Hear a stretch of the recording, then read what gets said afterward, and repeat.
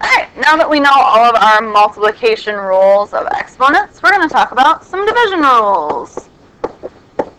We have two more rules to learn, and then we're going to do a bunch of problems that kind of incorporates all of the rules we will have learned. So let's prove these ones first before we go making rules up. This one is very similar to our multiplication rule that says if we have two things with the same base multiplied together, we can add the exponents up. Except this time we're not going to have multiplication, we're going to have division. So let's say I have x to the fifth divided by x squared.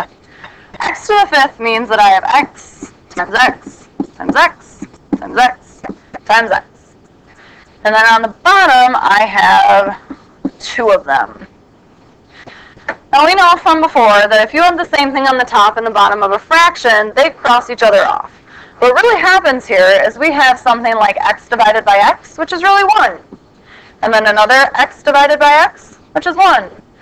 If we take 1 times 1 times all of these x's, we're going to end up with x cubed. So how can we get from point A to point B without writing that out every single time? Well, if you take a look at your exponents, we started with 5 and 2. We subtracted them to get 3. So here's rule number 4. Rule number four says if you have the same base, and it's very important that you have the same base,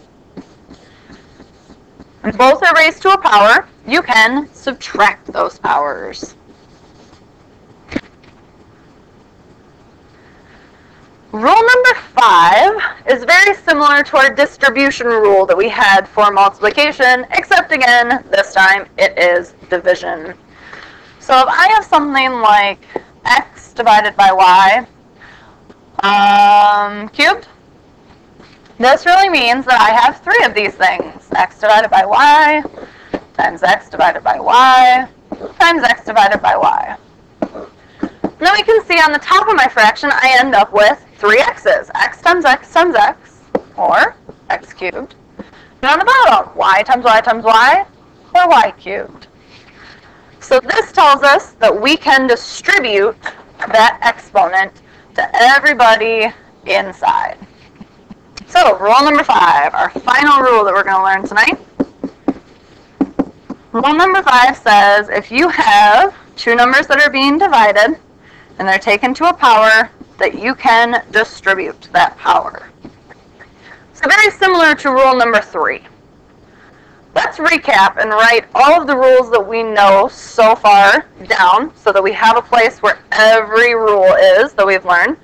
We'll end up with seven rules and we'll prove those other ones also. But so far we have five. So rule number one. So that if we had things that were the same base multiplied together, we could add the exponents. M. And then the next one, we had a power that was raised to another power. And remember, since these ones just have a parenthesis in between them, that reminds us we need to multiply those two together. And then the last multiplication rule we learned was our distribution one.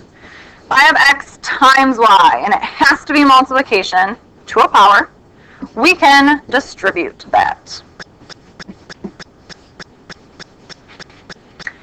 Then the last two rules are the division rules we just learned. So the first one goes along with number one. They're very much related. That if we have x to the n divided by x to the m, we can subtract these guys. And then the last one we learned was very similar to number three, and then it's distribution again. So if I have x divided by y, all to a power, I can distribute it. So you either need to memorize these rules or know how to get to these rules. They are very important. Some of the problems will be very easy where we can just use one of these rules to simplify it. But others will need all of these rules combined, or at least a couple of them. So let's do some practice. Start off with some easy ones that just have the division rules we just talked about. Let's say that I have m to the 8th divided by m to the 6th. I could write all those out, or I realize that six of these on the bottom here are going to cross off with 8, or 6 out of the 8 on top.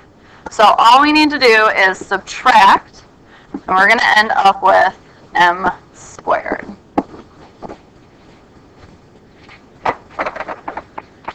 Another easy one, then we'll incorporate a bunch of them. What if I had 3 fifths all to the third power?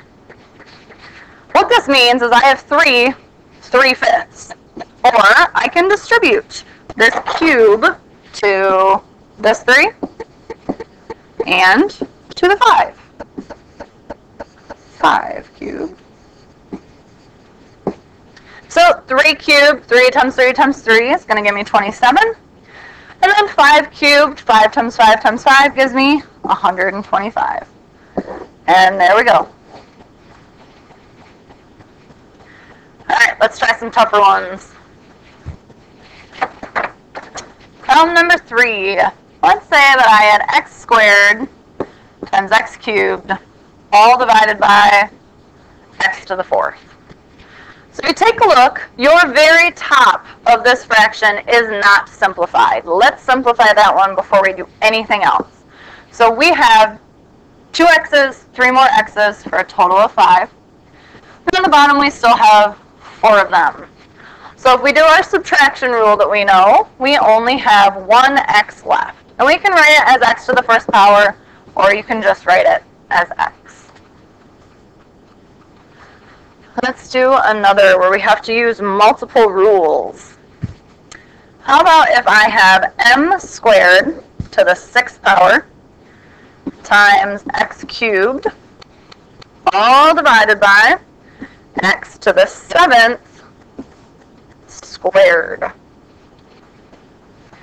So first thing I want to do is simplify these parentheses, this guy and this guy. So remember, if there's only a parenthesis separating them, we need to use rule number two, and we have to multiply them together. So I'm going to get m to the 12th here. M, these should be m's, not x's. Sorry, guys. So I have m to the 12th here, and then I'm going to multiply that by m cubed, and then divide all that by, multiply again, m to the 14th. And then we gotta simplify the top. Now it kind of looks like problem number three. We're gonna end up with 15 m's at the top, 14 on the bottom. And just like the last one, all but one is going to cross off or be subtracted. Feeling okay about these ones? Let's do two more.